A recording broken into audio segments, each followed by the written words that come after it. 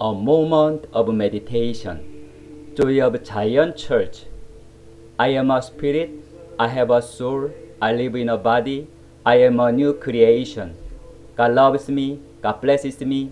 God makes me righteous. God gives me peace that the world cannot give. I am grateful. I am thankful. I am delighted. I am happy. I am joyful. I am okay. I am doing good.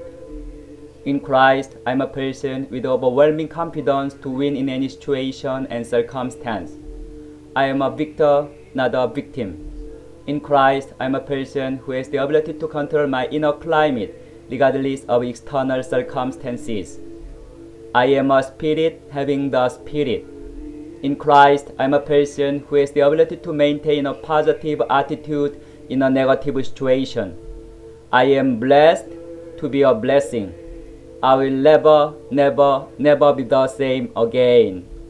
Keep up the activities of righteousness. Occupy till I come. Luke chapter 19, verse 13. As Christians, we've been given authority over demons of darkness to cast them out of people, cities, towns, villages, and nations. But casting them out alone sometimes doesn't really stop the trouble. You have to ramp up the activities of righteousness in and around such places. Remember what Jesus said in Matthew chapter 12 verses 43 to 45. He said, When an unclean spirit is cast out of a man, he walks through dry places, seeking rest. Finding none, he returns to the place where he was cast out. And if he finds it empty, swept, and garnished, he goes and takes seven other spirits who are more wicked than himself, and all eight of them enter the man. He becomes worse than he was before. That man shouldn't have been empty. He should have immediately begun feeding on God's word in study and meditation. Likewise, when we cast devils out of a city, nation, or town, we must move in with evangelism and fill the land with the word of God.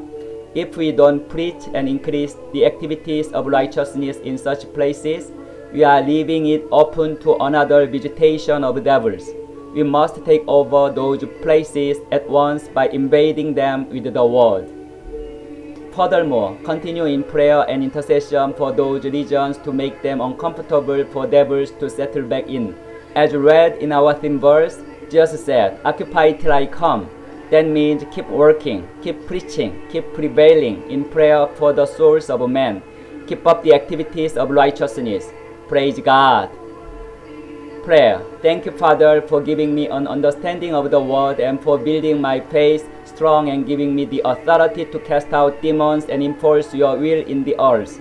The nations of the world are passionate for your glory. Therefore, the influence of Satan is broken and the gospel is spreading around the world unhindered. In Jesus' name, Amen.